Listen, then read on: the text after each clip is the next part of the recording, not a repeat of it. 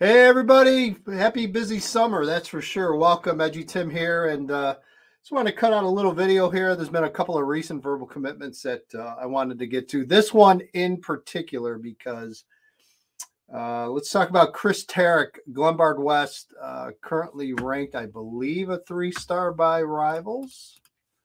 Let me check that real quick. Um, uh, whatever they have them ranked, it's wrong.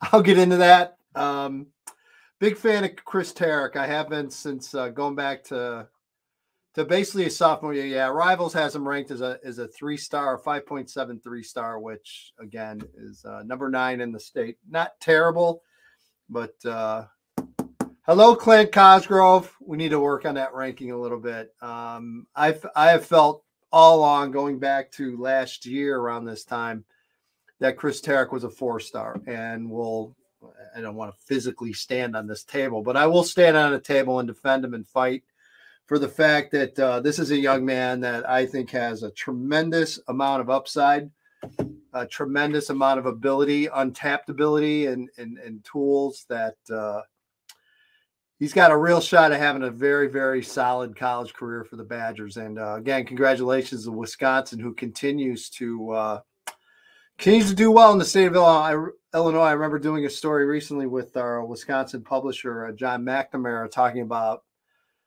Wisconsin's recruiting efforts in the state of Illinois. And I had mentioned to him that I think Wisconsin's always had a strong recruiting effort here. And, and this year is no different than any other year. Um, the Badgers are landing more kids and more higher level kids, maybe in this class, but um, Wisconsin does a good job and has done a good job here in the past, and obviously with this class they continue. So let's talk about Chris Terek.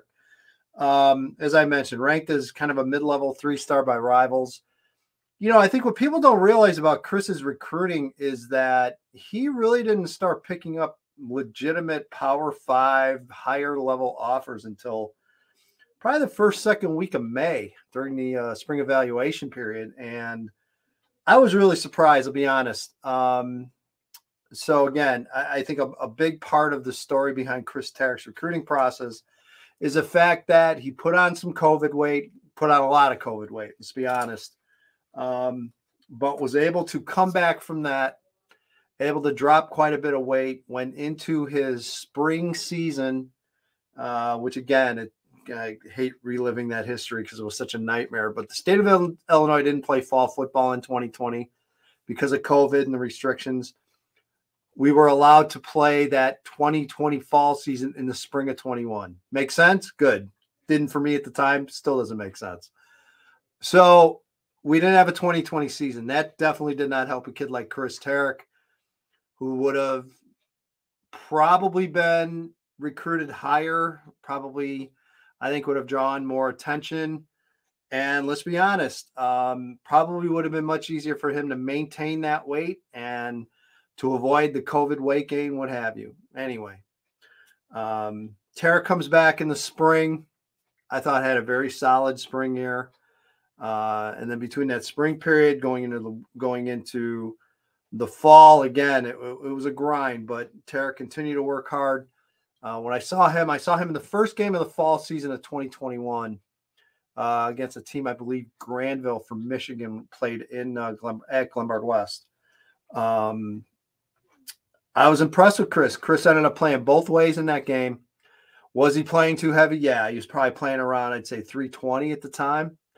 But what really impressed me was his durability and his endurance. Um, Chris played both ways. Uh, I think he played both ways for like the entire first half, and then which happens a lot at, uh, at, at Glenbard West. They kind of blew things open in the second half, but uh, Chris showed me just a lot and and continue to show me a lot, and he has for the last couple of years. Um, so he continued to work, continued to work on cutting that weight. Uh, really embraced wrestling quite a bit. So wrestling was always a part of his workout regime, and and again, uh, also played lacrosse this past year. So again, just uh, kid worked his butt off, and, and I did, it was just kind of head scratcher because after seeing him live and what he can do at 320 pounds, you just got to imagine, boy, if he can get down to 290, 285, 290, what he could really do. And and I guess other people didn't see it or didn't notice or didn't really look hard enough. And uh, so it took a long time for the Power Fives to finally hop on, and boy, did they! They hopped on in a hurry. And and again, um, Chris is, I think, I think a a high level offensive lineman, um, great size, great width, uh, pretty athletic, runs well for a kid that big. Um, but it's the other attributes that I love more than anything. He's mean. He really is. He's just a mean, nasty kid when he goes in between the lines. And um, I saw that a handful of times uh, during the fall season of 2021. Just, just a great mentality. And coming out of that program, you talk about a great program in Illinois, Glenbard West. Coach Sig, uh, his offensive line coach, is again just, you know, that program's generated guys like I don't know, uh, Chris Watt. Might have heard of him. Uh, you can go up and down the line um, over the years of, of the the top notch guys that have come out of that program. A lot of them offensive linemen. So again, Chris, uh, extremely well coached, uh, very fundamentally sound. Probably one of the areas of his game he'll have to continue to work on is his pass pro, but that's not to be expected. Um, that will continue to get better. But I think all the physical tools are there. I think the mentality is there for him, and uh, I really think he wants it. And that's another thing that that sometimes doesn't reflect in the stars. Uh, Chris Terek loves football, and and he has a motor, and I think just an inner fire that uh, wants to take him to the next level. And I, I think he wanted what his motivation was for a long time was to continue to prove people wrong and say, look, I am a top level lineman.